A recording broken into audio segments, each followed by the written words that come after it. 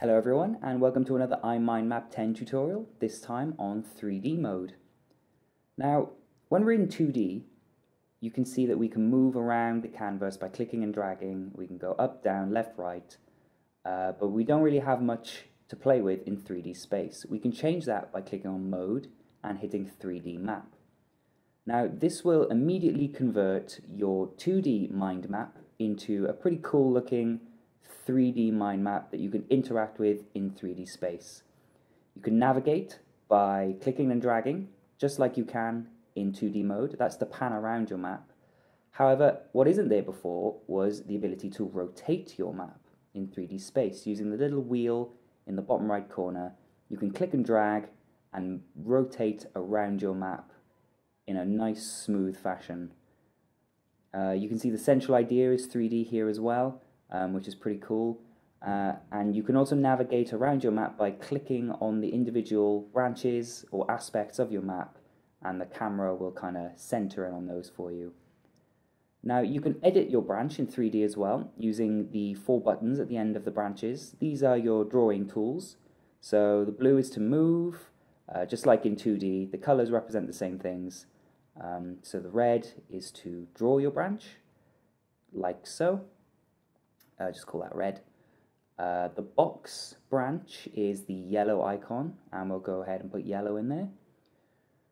And then using the green, you can create relationships between branches. Again, all the functions work exactly the same as they do in 2D mode, except they look cool because they're in 3D. Uh, so there we have it, nice 3D map. Uh, so although this is already pretty cool, is a way we can make it cooler, and that's with environments. Um, so we're going to access the menu in the bottom right next to the rotation wheel, hover over environment, and you get a nice selection of different environments that you can choose from. Uh, my favorites, personally, are the uh, the gradient ones, uh, so the, uh, the blue one, the orange one, and the green one. Uh, I also like the, uh, the grid rooms as well, I think they look cool. Um, but ultimately the choice is yours. Uh, hopefully you'll find one that you like. Um, they just give a little more flavour to your map uh, and they're, they're great for just if you want to show off a little bit. Uh, if you've got a meeting or presentation that you need to give your map out at, this is a really cool way to do that.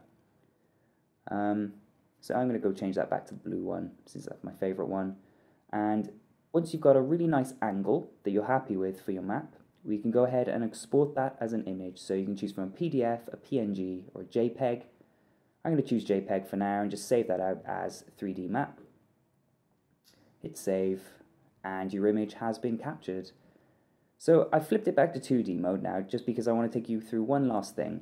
So you notice how the central idea was 3D when we were in 3D mode. Well, this isn't true for all of the central ideas. Some of them will they will be converted to 3D, but they'll be flat within the 3D space, just as you can see here. So if we kind of zoom out uh, and rotate around, you can see that it's still flat within the space.